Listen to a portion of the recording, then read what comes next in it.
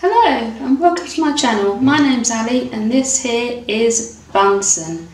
And in today's video I'm going to be talking about whether a chinchilla can live a full and happy life with just three limbs. And in short answer, yes they can. This is Bunsen and this is her story. So Bunsen was born with us many many years ago and when she was eight or nearly nine weeks old she broke her leg really, really badly. She had a freak accident on a cage that was actually given to us by a show breeder.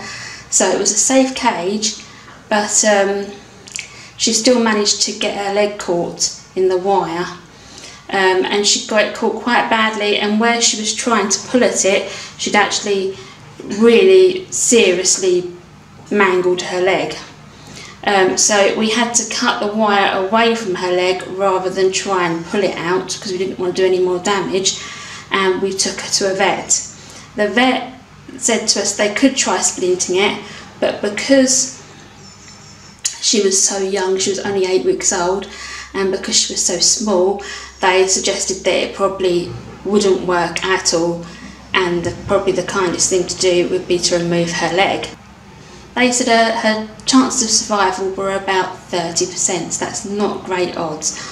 But she had the operation, she came out of that fine. Luckily, she made it out of recovery.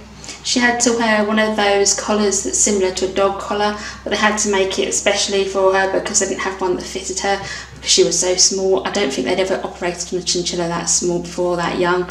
And she had to have antibiotics and painkillers.